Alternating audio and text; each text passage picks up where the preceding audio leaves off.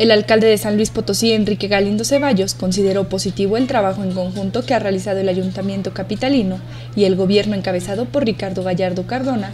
Mencionó que en gobiernos anteriores no se había visto trabajo coordinado entre ambos niveles de gobierno.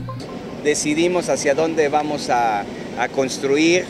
Eh, hay dos buenos ejemplos, que es Hernán Cortés con Fray Diego, el gobernador pavimenta Fray Diego, nosotros Hernán Cortés, nosotros pavimentamos Avenida 71, él construye el puente. Este trabajo coordinado, en verdad lo digo de todo corazón, yo no lo había visto.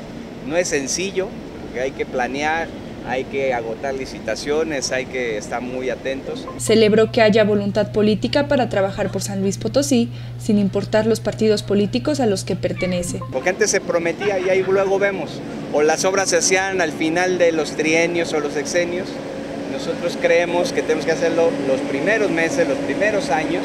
Adelantó que a la par de los trabajos en el puente de Avenida Universidad, obra que estará a cargo del gobierno estatal, el ayuntamiento trabajará en obras de repavimentación a los alrededores de la Alameda.